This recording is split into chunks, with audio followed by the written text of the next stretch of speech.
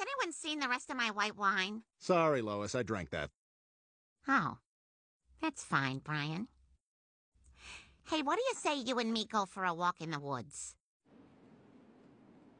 You know what? This is kind of nice. I thought you were going to do some kind of Godfather murder on me. Oh, Brian, I don't watch mafia movies, but I did see Fargo. Huh?